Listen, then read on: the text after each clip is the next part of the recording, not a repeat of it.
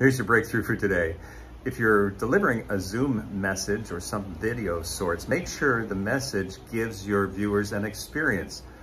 How do you do that? Well, you know, obviously framing is a good idea. Not looking up their nose, good idea.